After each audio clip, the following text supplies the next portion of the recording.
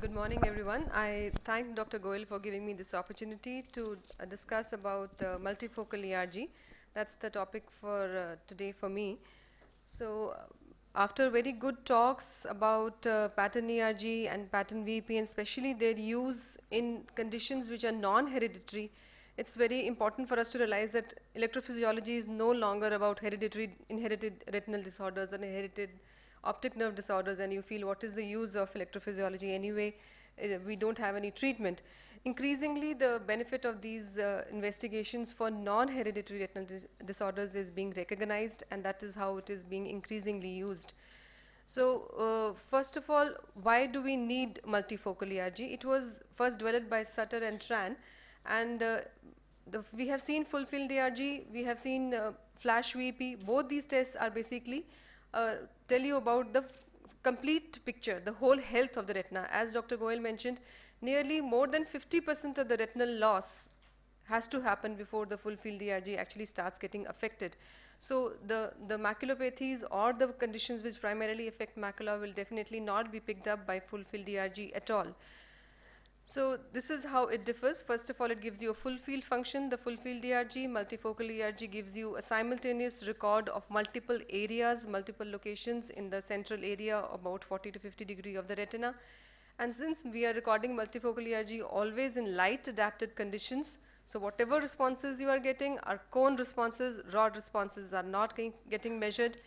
So this is an important thing and recording should be done with pupillary dilatation under light adapted conditions with room, normal room illumination and monocular recording and refractive error correction in place. The fixation is very important for multifocal ERG because you are looking and uh, measuring the central 40 to 50 degree and these responses will differ if the fixation is not proper. So continuous monitoring of fixation is done by the presence of a fixation star on the screen or a dot on the screen and this has to be kept always under visualization and eyes should be refracted. Refractive error correction has to be there, but once the correction is there, be careful that it is not the peripheral rim effect because of the spectacle or glasses which are coming.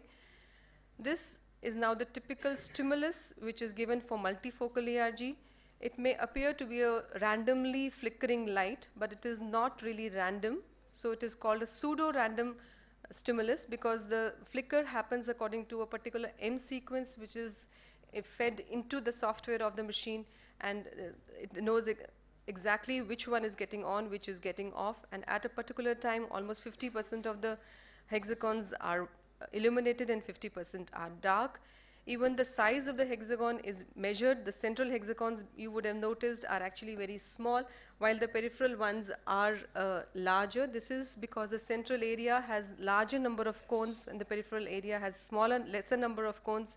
So we want equal number of cones to be represented in each hexagon, which is why the size of the hexagon is also measured accordingly. And this is how you get the, the, the kind of trace arrays that you can measure. The first one shows that it has about 37 hexagons which are blinking. The second one has 61. The third has 103 hexagons and the fourth one has 241. So you will be very happy that, okay, let me do 241 for everyone because then I will know all the minute details. But if you, as the number of hexagons which are stimulating, the central 40 degree goes on increasing, the difficulty level, the time of recording, it becomes very high, the patient cooperation becomes low, and the patient is not able to cooperate with all these things. So the ISCEV standards, they, it recognizes two elements, 61 elements and 103, and the choice is uh, limited by a trade-off between a better signal to noise ratio for 61 elements and uh, better spatial uh, rec uh, recognition or res resolution and you can identify minute defects in a 103 element stimulus. This is how the analysis charts will look like. If you don't have the trace, one is the trace array that we saw before, and the second is that the, uh, the, the central 40 degrees divided into these rings, where the first ring is the central 1.6 degree, the second is 1.6 degree to 6 degrees, and each one is represented by a single wave. So if you have a disease which is affecting fovea, then it is this ring which will be affected. If it is perifovea, then it is the second and third, and the parafovea, and then the later area. So you can actually not only know the amount of decrease, you can know the distribution of the disorder, how it is affecting. So this is a topographical map. The array and the ring reflexes are shown like this. This is showing the central peak. You can get a blind spot here and this shows the peripheral 40 to 50 degree. These, uh, these maps look very nice because at first go you will get a visual impression but it is always good to look at the true wave because if the true wave is noisy you may still end up getting a map like this but if you see a true wave which is noisy the results don't have any meaning. So it is important to have trace array and not just rely on the topographical maps. And the origin, uh, though the typical um, the N the N1, the P1 waveforms look like the A and the B wave on ERG, but the origin of these is not exactly the same. So it is still under controversy and it says that usually largely their uh, origin is from the bipolar cells. So this is a little difficult to understand, but I'll still make an attempt. See, because this is not a direct response and uh, flash stimulus and response that we are recording, it is kind of a mathematical extraction because the stimulus is a little complicated. So suppose if the previous hexagon which is stimulating is dark and the second hexagon which comes is bright, so obviously you will have a response to the bright flash. But suppose the previous hexagon which was there is already white and the, again a second one comes which is white, then the response may be there but it may not be as good as this one. So if the previous hexagon is dark and now the new hexagon which is coming is also dark, you may not get any response. Previous hexagon white, second hexagon which stimulates it is also black, so you will not get any response. So what the software does is it takes a mathematical analysis and extraction of some of bright flash stimulus responses minus the dark flash stimulus responses and it automatically gives you this trace. So we must remember it's not the true trace at one particular point that you are looking at, but actually a mathematical extraction and something called a second kernel is also there which shows that not only what is the response to the previous one, what is the response to the adjacent one. So because it will have some adaptation because of the presence of whether the adjacent was being stimulated by a white stimulus or a dark stimulus. So lucky for all of us that machine does all this and we don't have to bother about it. What we get is this. It's a simple N1, P1, N2 waveform where the most important being the P2 amplitude which usually rep represents the function or the number of cells which are functioning. So anything which knocks out the cells or reduces the number of cells is going to affect the P1 amplitude. Anything which delays the conduction of the cells is going to affect the P1 implicit times. And when you interpret, this is how you look at the distribution. See, obviously the central area of the responses is reduced. So it's a central retinal dysfunction. Central area is beautifully picked up while the periphery is flat. So it's a peripheral dysfunction with the foveal preservation. Then this is a generalized reduction and here you see that inferior uh, uh, traces are affected, superior ones are good. So it's a localized reduction. So you are getting the amplitude, the implicit time and the distribution or the topography. This, this is what multifocal ERG is telling you. Important to understand before we go into examples is these are some noisy waveforms. So if you see a waveform like this, you know it's electrical noise, so you better repeat your ERG. This is normal. This is eccentric fixation. You can see that suddenly this area has very good waveforms. The patient has moved the eye, the fovea has gone up. So that is why your, this is an eccentric fixation, it's, it needs to be repeated this test and this is positional artifacts because of the rim. So with this background, I'll take you to some examples as to how we look at MFERG in various disorders. So just two, two, two different diseases, almost near looking, nearly normal looking fundus, a little bit of tapetal reflex is seen here, mild disc pallor, whitish spots here. Other than that, we don't see much.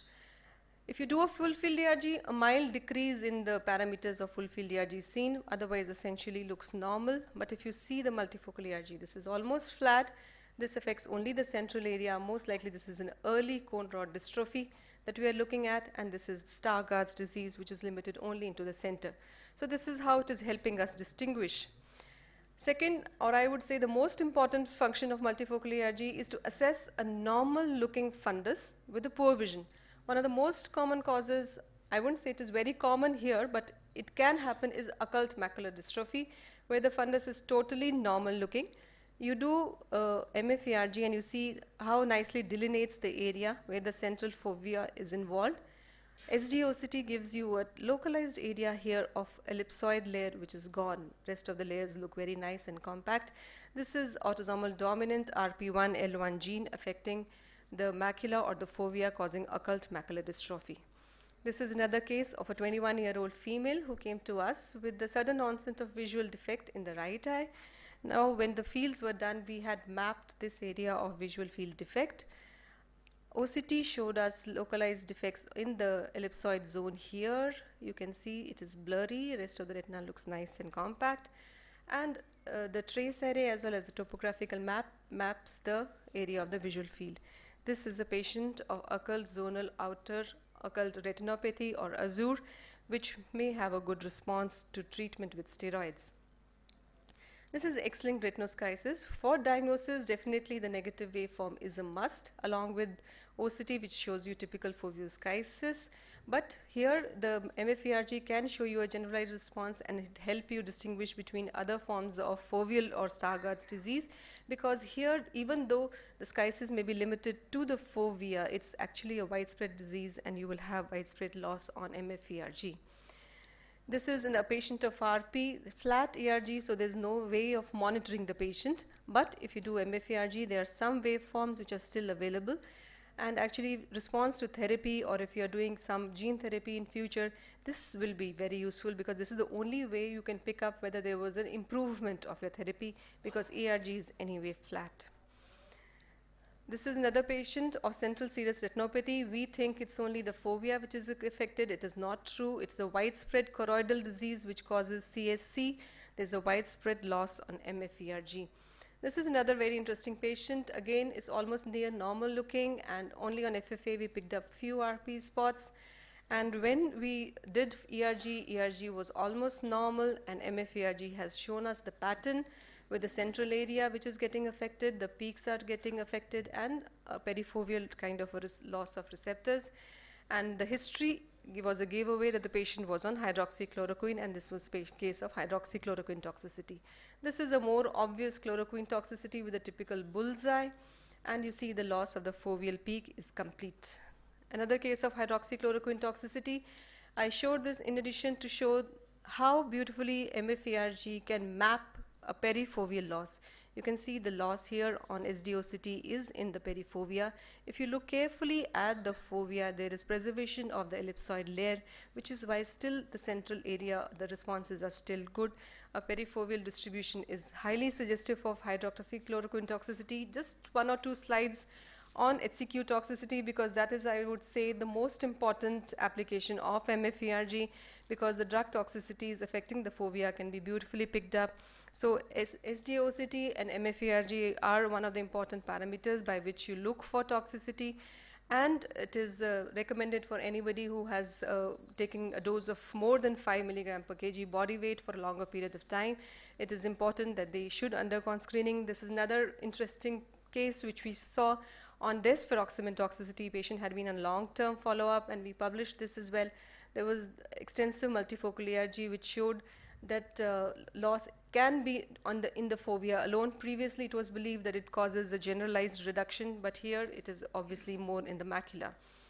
Even amiodarone toxicity here, it's a generalized uh, reduction and not only affecting the fovea. This is amiodarone toxicity. Then uh, just as we saw how PHNR and, and, PERG can be affected in diabetic retinopathy, multifocal ERG is also very useful and increasing evidence is there that before a microvasculopathy sets in, it's actually could be a neuronal or a functional degeneration that we are looking at, and this can only be picked up by electrophysiology. In fact, we don't even need fancy tests to look for changes for uh, ERG in diabetic retinopathy. In mild, even the normal full field ERG is here, which is normal. In the late stages, even though we traditionally believe that only RP is the one which causes flat ERG, and advanced diabetic retinopathy also has a flat ERG. In MFERG, the beauty of it is that it can actually map these areas of hard exudates, the retinal hemorrhages, and tell you exactly that these are the hexagons or these are the areas which are not functioning well. And this, as I said, MFERG, just imagine this is normal and this is just in late stages of DR. It's totally unrecordable. So here, in, when we look that even in cases where the eyes are without diabetic retinopathy, almost 20% of these areas on multifocal ERG will be almost non-recordable or abnormal. So it is picking up at a much early stage. This is just an example of one of our patients. This patient had mild diabetic uh, retinopathy with CME in one eye. The DME was there, and the left eye was normal. When we did MFERG, uh, beautifully it picks up loss of the peak in the right eye, whereas it is still somewhat maintained in the left eye. But even though this is a near normal looking fundus, look at what is happening to MFERG. There are areas of marked loss on multifocal ERG. So here another case just to highlight that it can pick up BRVO and it can obviously pick up the artery occlusions as well and even response to therapy. Following bevacizumab, the, not only the DME has come down, here you can see the foveal responsive have also improved. I just wanted to share one more interesting case since I was talking about diabetic retinopathy. Not every diabetic patient who walks in your OPD and complains of blurred vision, not every patient has a DME. This patient came to my OPD and he said he's having blurred vision, last 15 years he's diabetic and I expected to see swelling in the macula, but I did not see that. So once I started asking the history, I, he told me that he had hearing loss as well. And if you care carefully see, there are multiple areas of RP atrophy, and so we did an MFERG, which was a giveaway with multiple areas of loss around the fovea, and this was a diagnosis of a maternally inherited diabetes and deafness, which is a mitochondrial uh, disease, which is an inherited form. So it's a diabetic patient with hearing loss, with multiple areas of RP atrophy at the macula. So to conclude, applications, it not only helps us in better understanding of disease, it helps us to uh, establish a structural and functional correlation, early detection, to monitor the progression of diabetic retinopathy, to monitor treatment effects, and to monitor drug toxicity. Few things to remember, it does not replace a full field ERG. You should not, in fact, ever try to understand multifocal ERG or interpret multifocal ERG without having done a full field ERG. And thanks to all these optometric group which we have here without whom this presentation and all this experience would not have been possible. Thank you, Dr. Parveen. Any question the, on this excellent presentation? About uh, toxicity, uh, not relating to ERG, but what type of field would you suggest for uh, hydroxychloroquine? It is typically 10-2 which is suggested by the ISCEV criteria also. They, uh, or rather by the American Academy guidelines, they have suggested that 10-2 is what should be done to monitor hydroxychloroquine toxicity. Because there are literature, they mention that for Asian race, uh, it is... It can be, yeah, for Asian race, it can be more involving the parafovea as well. But as I said, the American guidelines say 10-2, but in our scenario, you can do both. Okay. Because early changes, if it happens in the perifovea, or in the fovea you will miss. And would you suggest doing MFERG as a, a routine for all screening or? Again, following the guidelines which were given, they have, if you see I show the slide yes, also, they have not included MFERG as the first thing, but the reason that they have said is that it may not be available to everyone. Mm. So if it's not available, yes, you can do with the 10-2 and do it, but if you have it, SDOCT and MFERG are actually which give you a irreversible and a definite uh, drug toxicity presentation.